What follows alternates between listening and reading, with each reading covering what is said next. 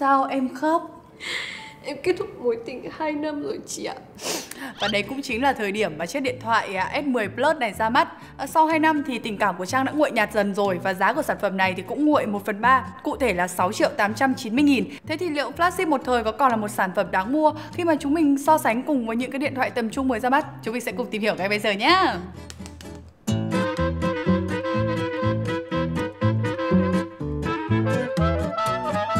nói về những ưu điểm trước nhá. Ưu điểm đầu tiên ấy phải nói là màn hình quá đẹp luôn các bạn ạ. Xem Netflix hay là YouTube các thứ nó đã vô cùng luôn. Màu sắc hiển thị cũng rất là tốt nữa mà màn hình còn rộng tận 6,4 inch. Xong rồi còn có tấm nền Dynamic AMOLED này độ phân giải 2K cộng. Thực sự là ở trong cái tầm giá 7 triệu này ấy thì độ phân giải 2K cộng nó là một cái gì đấy rất là khủng luôn. So với một số máy cùng tầm giá nổi bật như là Redmi K40 hay là Mi 11 Lite hay là Redmi Note 11 thì cũng đều chỉ có màn hình tối đa là Full HD cộng thôi cho nên mình thấy đây là một điểm cộng rất lớn luôn. Đặc biệt nhá, tông màu hiển thị mình thấy rất là tốt. Màu đen ấy, nó gần như là nó chìm sâu vào và nó hòa cùng với cái viền này luôn. Và độ sáng của S10 Plus cũng rất là cao Khoảng 400 nit khi mà chúng ta sử dụng ở trong nhà như thế này. Và hôm trước mình đi test camera ở ngoài trời ấy, nó có thể lên được 800 nit. Do vậy là mình chụp ảnh rất là nắng Nhưng mà mình gần như là có thể kiểm soát được mọi thứ trên màn hình Mà không cần phải chạy vào bóng dâm để có thể xem lại ảnh. Chứ không phải kiểu nhắm mắt chụp bừa đâu các bạn nhé trong tầm giá này thì những chiếc flagship cũ của Samsung vẫn luôn có một cái màn hình rất là đẹp. Ví dụ như là Note 10 Plus 5G với giá là 7 triệu 8 hay là S10 5G với giá là 6 triệu 3 theo như mình tham khảo tại XT Mobile. Sắp tới thì những dòng này sẽ được ưu đãi rất là nhiều, đặc biệt là vào ngày 17 tháng 12 còn có chương trình sale thần tốc thế nên mọi người hãy ngó qua link mình để ở dưới phần mô tả nhé. You got me exclusive Ưu điểm thứ hai của nó là camera chống rung cực kỳ tốt. Mình vừa quay, mình vừa bước rất là mạnh mà các bạn có thể nhìn nhá, nó mượt kinh khủng khiếp luôn. Không nói, mình còn tưởng là gắn gimbal ấy chứ. Mặc dù là đã ra mắt từ 2 năm trước, thế nhưng mà Galaxy S10 Plus vẫn sở hữu cho mình một cụm camera mình đánh giá là rất là ổn áp luôn. Với cái cụm camera này ấy, thì mình thấy là cho ra ảnh đúng với cái sở thích của mình luôn. Màu ảnh trông rất là Hàn Quốc, đủ rực rỡ này, thể hiện màu sắc rõ ràng, thế nhưng mà lại không bị quá là gắt mắt. Khi chụp góc rộng thì ảnh cho ra sẽ không bị sai màu quá nhiều so với chế độ bình thường đâu. Tuy nhiên thì đương nhiên là nó sẽ không thể quá rõ nét rồi, nhưng mà nhìn chung ấy chụp góc rộng vẫn khá là tốt đấy các bạn ạ.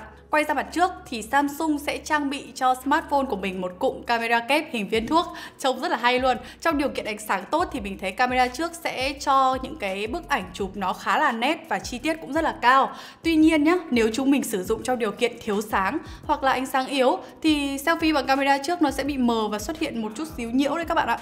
Tiếp theo sẽ là điểm mình khá là thích đấy là thiết kế. Thiết kế này rất là dễ chịu luôn. Cả mặt trước cũng được bo cong như thế này Mặt sau cũng được bo cong. Vậy nên nó tạo nên một cái tổng thể nó rất là thân thiện với tay của chúng mình. Các bạn hoàn toàn có thể lướt bằng một tay như thế này Mặc dù màn hình rất là lớn luôn Bởi vì nó cũng rất là mỏng và nhẹ. Phần camera phía sau thì trông cũng rất là cân đối. Khác với những cái điện thoại bây giờ ấy là camera sẽ kiểu lệch sang một bên này Nhìn nó không được cân đúng không? Tự nhiên bên không có, bên lại có một đống nhìn khó chịu. Nhưng mà mặt lưng nhá nó là một điểm trừ nho nhỏ bởi vì nó là bằng kính. Cho nên các bạn có thể nhìn này rất dễ bám mồ hôi và dấu vân tay luôn. Đặc biệt với phiên bản mình đang cầm là màu đen.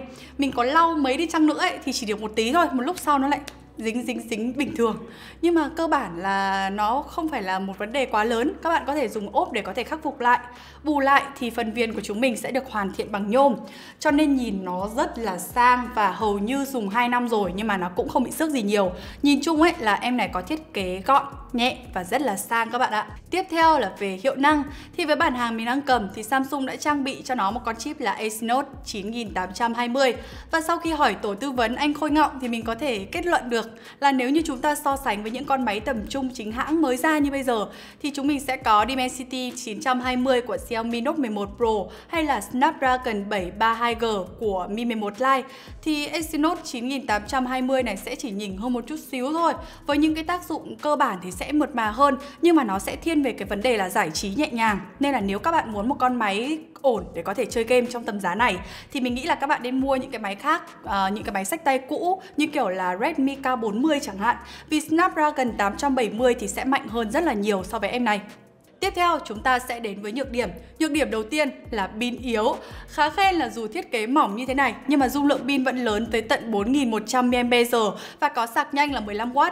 Câu nói đấy ấy, mình sẽ nói cách đây 2 năm thôi. Còn thời điểm bây giờ với 7 triệu thì chúng mình đã có thể có được uh, Redmi K40 với dung lượng là 4520 mAh và sạc nhanh tận 33W hay là Redmi Note 11 Pro với 5000 mAh và sạc nhanh tận 67W khủng khiếp thực sự luôn. Đây, kiểu như kiểu em bé ấy. Vậy nên là với thời lượng pin của S10 Plus thì mình thấy là nó chỉ ở mức ổn thôi Không phải là quá ấn tượng. Thậm chí nó còn tụt rất là nhanh các bạn ạ. Mình sạc hôm đấy mình đi chụp ảnh test camera nhá Mình sạc lên 60% Và mình chụp không thường xuyên Nhấn mạnh là không thường xuyên nhá. Nghĩa là kiểu đi một đoạn thấy cái gì hay dơ lên chụp xong rồi xem lại ảnh thôi. Nhưng mà 4 tiếng thì nó tụt xuống khoảng tầm 20% Rất là nhanh luôn đấy Tức dã man. Còn với những cái tác vụ cơ bản Thì chúng mình sẽ chỉ on screen được tầm 3 đến 4 tiếng thôi.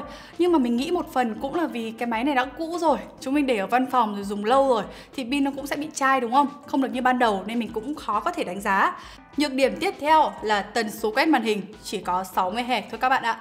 Cùng với cái tầm giá 7 triệu như thế này, chúng mình đã hoàn toàn có thể có một cái tần số quét cao hơn, cao khủng khiếp luôn. Ví dụ như là Redmi Note 11 Pro với 120 Hz hay là Redmi K40 cũng 120 Hz luôn. Và với 60 Hz này ấy, thì thực sự là dùng nó không được mượt lắm đâu và có xuất hiện độ trễ này, giật lag. Ờ, nhược điểm tiếp theo mình thấy đó là cảm biến vân tay, mọi người có thể nhìn nhá nó sẽ không được nhanh lắm Thực sự là nó không nhạy và mỗi lần mở khóa sẽ phải mất từ 1 đến 2 giây Và cộng với việc tay mình ra mồ hôi nữa Cho nên nhiều khi chúng mình chỉ cần để kiểu nhấc tay lên một tí thôi Đấy cũng không được mà phải để hẳn vào trong như này. Nên là mình thấy nó khá là bất tiện. Thế nhưng mà được một cái là nó có cảm biến vân tay siêu âm nên sẽ có tính đảm bảo an toàn tốt hơn. Nhược điểm thứ hai đó là không có bảo hành chính hãng. Đương nhiên rồi các bạn sẽ phải chấp nhận chính sách bảo hành của cửa hàng chứ hãng sẽ không hỗ trợ cho các bạn đâu. Và cửa hàng thì cũng chỉ hỗ trợ một vài lỗi nhỏ giống kiểu là sức sát một tí này hay là hỏng loa trong một thời gian ngắn thôi. Còn qua cái thời điểm ấy, ấy thì kệ các bạn. còn nếu mà mua máy mới thì ví dụ chúng mình có lỗi về màn hình này, hay là lỗi về phần cứng thì nó sẽ được hỗ trợ tận răng luôn. Nên là đây cũng là một điểm để chúng mình phải cân nhắc nhá. Vậy nên là lúc mua thì mọi người nhớ lưu ý là phải check kỹ này, phải hỏi kỹ về chế độ bảo hành, hoặc là yên tâm hơn, các bạn có thể mua thêm một gói bảo hành ở bên ngoài để có thể yên tâm sử dụng nhé với những trang bị hiện tại thì mình thấy là không quá khi mà nói là Samsung S10 Plus, nó vẫn là một cái chiếc điện thoại đáng đồng tiền bát gạo vào năm 2021. Ưu điểm thì vẫn nhiều hơn là khuyết điểm này và phải nói là màn hình cũng như là camera của nó quá tuyệt luôn. Chỉ có một điều là khi mua các bạn nhớ check kỹ về pin cũng như là chế độ bảo hành và ngoại hình của máy. Theo các bạn, thì đây có phải là một sản phẩm đáng mua trong thời điểm hiện tại hay không? Hãy comment ở bên dưới cho chúng mình biết vậy nhé. Và đừng quên like cũng như là subscribe vật vờ studio. Nhớ là phải subscribe đấy. Không là mình buồn lắm đấy. Để ủng hộ chúng mình và cũng như là theo dõi những thông tin công nghệ mới nhất mỗi ngày. Mình là Quỳnh Như. Hẹn gặp lại các bạn trong video lần sau.